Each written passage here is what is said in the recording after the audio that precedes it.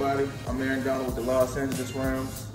Um, when I'm at home and I don't got no weights to actually work out, you know, I usually put myself through an ab workout or, you know, a, a push-up workout, you know, with, something that everybody can do. You know, I got a 300 ab workout, you can see.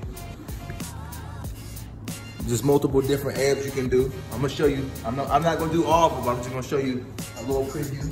So you do 30 crunches. If you don't know what 30 crunches is, crunches is these. You do crunches how you want, but that's how I do my crunches. You got 20 bicycle crunches. That's just like that.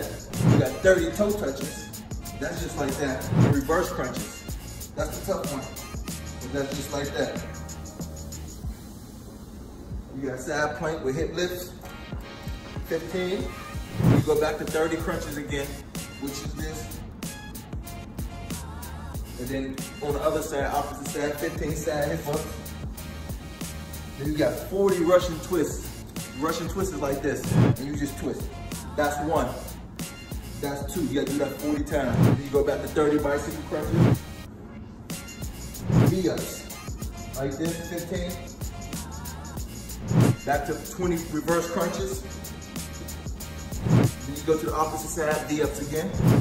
Like that. Then you finish with 10 leg lifts, which is like this. You have to control it because it hurts. And then you can do your own push-up workout. What I usually do, if I really, really want to get myself tired and fatigued, I'll get a deck of cards. You pull a deck of cards. If you pull a five, you do five push-ups. If you pull a 10, you do 10 push-ups. And I do, for face cards, I usually do 20s. Jokers is, is 20s as well. And you just put yourself through a, a normal push-up workout. Do it how you want, or if you want to get hard and, and make it tough, get the deck of cards and and go through it like that.